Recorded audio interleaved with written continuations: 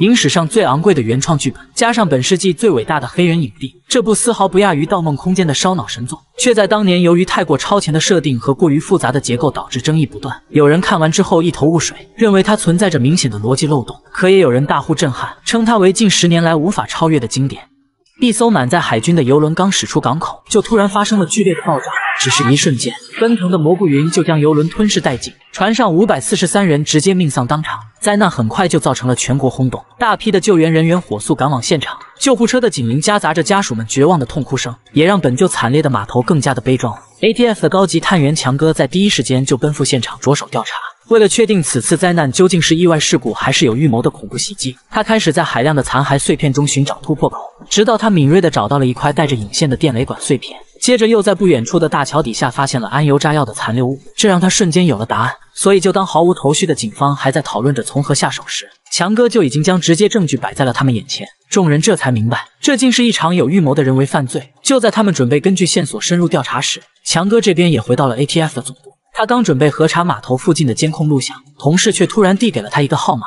他告诉强哥，刚刚有一个陌生女人特意打电话来询问他的信息。强哥并没有在意，而是先给搭档留言，让他尽快结束休假回来帮他一起调查。随后才根据纸条上的号码回了过去，但电话另一头却无人接听。在下班回家的路上，他又突然接到了法医的电话。他们在爆炸的海域发现了一具特别的女尸，因为尸体是在爆炸前一个小时就被发现的，这让他立马又赶到了警局。通过观察，强哥发现女人身上虽然有烧伤的痕迹，但明显是死后被爆炸所波及的。重点是通过紫外线照射后，他又发现女人竟有被绑架的痕迹，这代表着凶手极有可能借着爆炸来掩盖女人死亡的真相。但前提是凶手得预测到爆炸袭击的发生，所以唯一的可能性就是凶手策划的爆炸袭击。于是强哥又马不停蹄地来到女人的家里寻找线索。在进门之前，他习惯性的戴上了手套，而在打开房门后，他才意识到或许事情并不简单。只见冰箱上有一句字母拼成的话：“你可以救他的。”一旁还有一条女人出售自己车子的信息。他又来到厨房，发现水池有一件带血的衣服，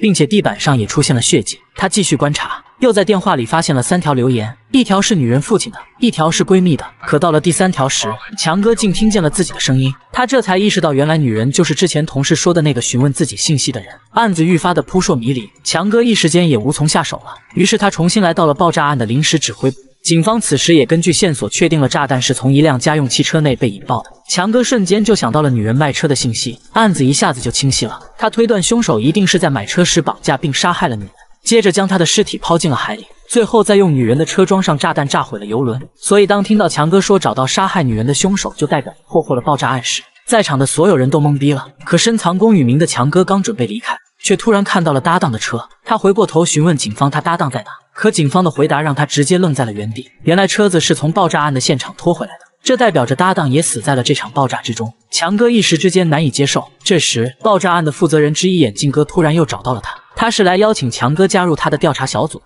因为他们刚好缺少像强哥这样拥有强大洞察力的人。而为了替搭档报仇，强哥答应了下来。随后，眼镜哥带着他来到了一处被军方严密看守的神秘基地内，里面放置着各种高科技的仪器以及无数的屏幕，屏幕能够回看爆炸案发四天前的任意监控。但让强哥震惊的是，监控不仅能全方位的切换视角，甚至还能接收到音频讯号。眼镜哥告诉他，这是最新的数字重建技术，利用七颗卫星将整个区域的数据汇总成连续的影片。可让强哥好奇的是，为什么他们不直接看爆炸当天的？眼镜哥只能继续跟他解释，因为影片和现实是同步的，但却有四天的时差，所以如果要生成爆炸当天的数据，就代表着他们还要再等四天。可这却有可能让凶手利用这段时间逃之夭夭。而他让强哥加入的目的，就是因为监控无法回看任何事物，都只有一眼的观察时间，所以强哥的任务就是利用他敏锐的洞察力，找到其中的可疑人物。若有所思的强哥没有继续纠结下去了，而是让他们将监控视角切换到了被害女人的家里。可看着眼前明明是第一次见到的陌生女人，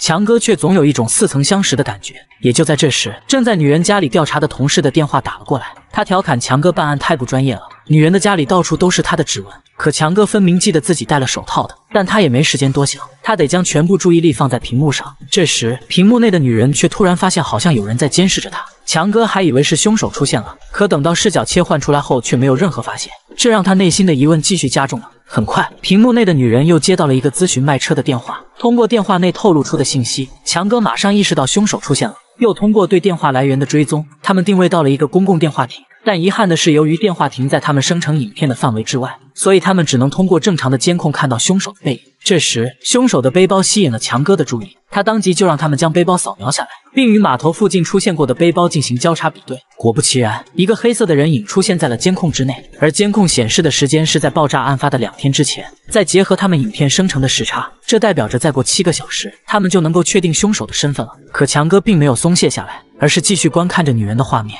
为了印证内心的猜想，他突然就掏出了一支激光笔照向屏幕，红色的光点透过屏幕竟直接出现在了女人家中。然而下一秒，所有画面就直接断开了。看着惊慌失措的工作人员紧急修复着设备，气愤的强哥直接发飙了。他的猜想果然没错，这并不是什么监控影像，而是真实的过去。眼看无法继续隐瞒下去了。胡子哥只能无奈地说出了真相。原来他们意外发现了一种折叠空间的方法，它能够将原本类似一个平面的空间像纸张一样对折起来，使得原本无法相交的时空得以重叠。而他们在其中建立一个通道，也就是所谓的虫洞，这样就能够看到过去所发生的一切了。可似懂非懂的强哥并不在乎这些技术问题，现在的他只想了解屏幕内的女人究竟是活着还是死了。而在听到胡子哥回答说女人还活着，但要不了多久就会被凶手杀死时，强哥当即就提出了他的想法。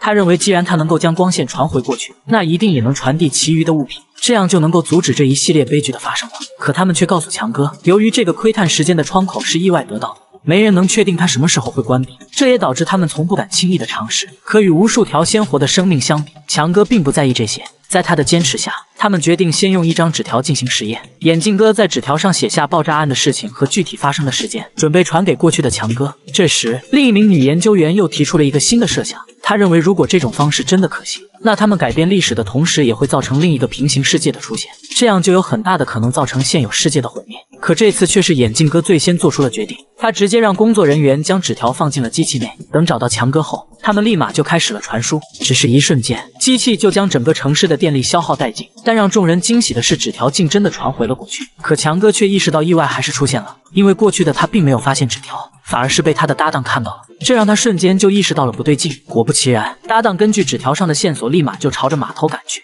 众人这边也根据时间推断，终于确定了凶手的样貌。可就在凶手刚上车时，搭档也从一旁冲了出来。他还想让凶手下车接受调查，可谁曾想，凶手直接就从车里开枪将他当场击毙了。见到这一幕，所有人都沉默了。强哥更是悲痛欲绝，他终于明白为什么搭档会莫名的死在了爆炸案之中，因为这一切都是他一手造成的。眼看着搭档的尸体被凶手拖上了车，并且即将脱离监控范围了，强哥想要做些什么，所以在得知他们还有一个可以不受范围约束、可以单独捕捉影像的目镜器后，他二话没说，直接带着机器就追了出去。当他带上机器后，机器里出现的是四天前的影像画面，而他另一只眼看到的却是当前的现实世界。这种混淆的视觉体验让他很不适应，但此时的他也管不了那么多了。在实打实的体验了一把马路杀手的经历后，最终他还是成功追上了凶手。沿着凶手的痕迹，他走进了一座破旧的庭院。他又看到这里竟有辆被烧毁的救护车。他继续朝着内部探索，最终看到了搭档被焚烧所留下的痕。在收拾好内心的痛苦后，强哥立马就将情况汇报给了警方。警方也很快通过线索成功抓住了凶手。在审问的过程中，强哥了解到凶手制造袭击的动机竟是为了证明自己，原因是他之前申请加入海军时被拒绝了，而他杀害女人也只是因为强哥搭档的突然出现，导致他警惕的想要换一辆新的车子而已。整个案子到这里就彻底的告破了。可强哥的内心却依旧煎熬，因为根据过去影像与现实的同步性，他知道再过十二个小时，女人才会被凶手所杀害。心情复杂的他再度走进了女人的家里，直到看到冰箱上“你可以救他”的字样后，他终于明白这句话的由来了。当他重新回到基地时，见到的是早已等待多时的胡子哥。胡子哥知道他依旧没放弃去改变已经发生的一切，而唯一的办法就是通过机器将自己传输回过去。尽管成功的可能性微乎其微，但意识到强哥心意已决的他并没有阻止。当一切准备就绪后。胡子哥直接就启动了机器，又经历了一场熟悉的大断电，浑身抽搐的强哥就已经成功的来到了两天前的医院内。医生第一时间对他展开了急救，这才成功让他活了下来。清醒过后的他直接征用了同事的枪和车子。然而就在他朝着凶手的老巢赶去时，此时的凶手也已经将女人绑了过来。他刚准备将女人解决，强哥就直接开着救护车冲了进来。见状，凶手毫不犹豫的调走了枪口。幸好子弹只命中了强哥的肩膀，接着凶手又接连数枪将整个屋子引爆。但他并没有看到的是，在连锁爆炸的同一时间，强哥就已经提前带着女人冲了出来。等到凶手驱车离开后，强哥解开了女人的头套，在看到她警惕却充满生机的眼神时，强哥意识到他真的改变了历史。随后，女人先带着他回家处理伤口，而进门的第一件事，他就先用冰箱上的字母拼成了他看到的那句话。他这才意识到这句话并不是留给女人的，而是提醒未来的自己改变这一切。他也终于明白了遍布满屋的指纹以及那些血迹和带血的衣服是从何而来的。然而看着他对自己的家里如此熟悉，女人瞬间就意识到了问题所在。她质问强哥究竟是谁，而为了打消女人的疑虑，强哥让他拨通 ATF 的电话验证自己的身份。听完女人对强哥样貌的描述后，同事确定了强哥的身份，并将女人的电话记在了纸条上。至此，时间在这一刻完美的形成了闭环。可看着这既定发生的一切，强哥突然就意识到，原来他什么都没有改变，他只是在重现历史而已。于是他改变了原本的想法，决定带着女人一起赶往码头。等看到放置好炸弹的凶手准备离开时，强哥让女人等游轮启动的第一时间就去报警，而他则独自前去拆除炸弹。但命运的齿轮仍在自我修复着。刚坐上车的凶手一抬头，就突然发现自己原本准备的车子竟莫名来到了码头。他这才意识到强哥两人并没有被炸死。这让他立马转身重新返回了游轮。一旁等待的女人刚好看到了这一幕，为了提醒强哥，他不顾危险，赶在最后一刻也跳了上去。不久后，游轮在欢声笑语中扬帆起航了。只是下一秒，剧烈的枪声就打破了这份美好。重新登船的凶手开始了大开杀戒。而等强哥悄悄来到车边上时，就看到女人再度被凶手绑上了车。他赶紧让女人启动车辆，以吸引凶手的注意。接着，他在假借投降的名义，利用之前审问凶手时对他动机的了解，成功让凶手有了一瞬间的失神。眼看他在不知不觉中走到了车子的正前面，车内的女人毫不犹豫地猛踩油门，直接将凶手卡在了两辆车的中间。一旁的强哥则顺势扣下扳机将其击毙，可危机并没有解除，距离炸弹引爆的时间只剩下最后的两分钟了，而他们却被闻讯赶来的警察团团包围。无可奈何之下，强哥也只能让女人强行将车开进了海里。在炸弹即将引爆之前，他才将女人成功推出了车外，可他自己也因此失去了逃生的机会。所以就在女人浮上水面的同一时间，炸弹的倒计时结束了。